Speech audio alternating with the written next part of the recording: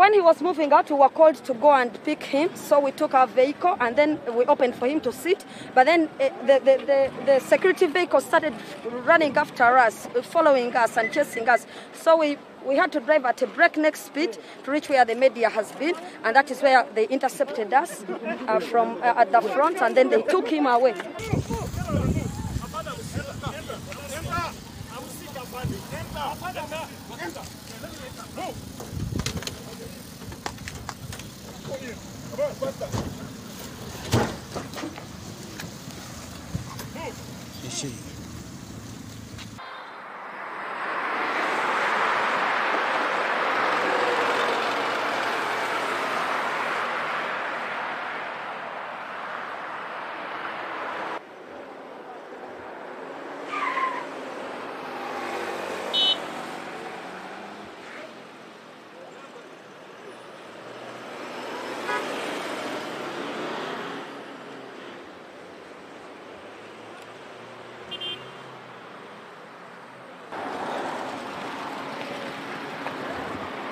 What has happened is uh, Muhammad right now uh, was uh, set free by Kigo prison, but he was rearrested or abducted from within the, the prison precincts themselves.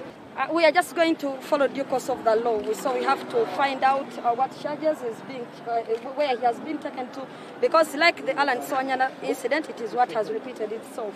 So it is very unfortunate that court orders are being uh, abused like this.